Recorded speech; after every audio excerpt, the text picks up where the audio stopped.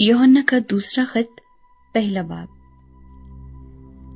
मुझ बुज़ुर्ग की तरफ़ से उस बरगुजीदा बीबी और उसके फरजंदों के नाम, जिनसे मैं उस सच्चाई के सबब से सच्ची मोहब्बत रखता हूँ, जो हम में कायम रहती है और अब तक हमारे साथ रहेगी।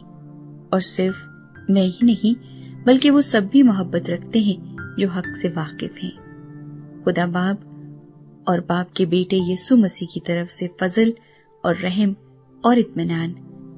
सच्चाई और मोहब्बत समेत हमारे शामिल हाल रहेंगे। सच्चाई और मोहब्बत।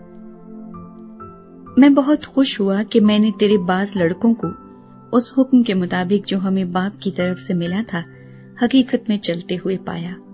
अब ए बीबी, मैं तुझे कोई नया हुक्म नहीं, बल्कि वही जो शुरू से हमारे पास है लिखता और तुझसे मिन्नत करके कहता हूँ कि आओ हम एक दूसरे से मोहब्बत रखें।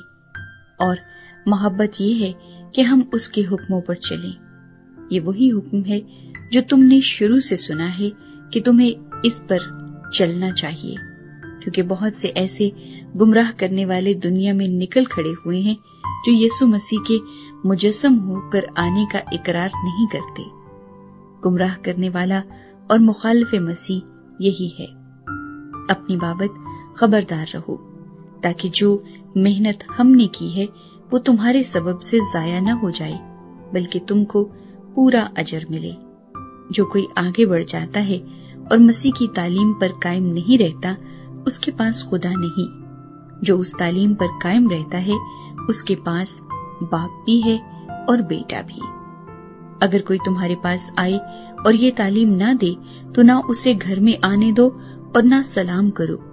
क्योंकि जो कोई ऐसे शख्स को सलाम करता है, वो उसके बुरे कामों में शरीक होता है। तस्लीमात।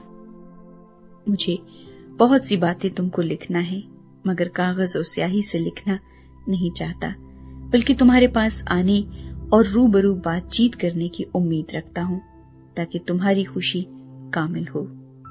तेरी बरगुजीदा बहन के लड़के तुझे सलाम कहते हैं।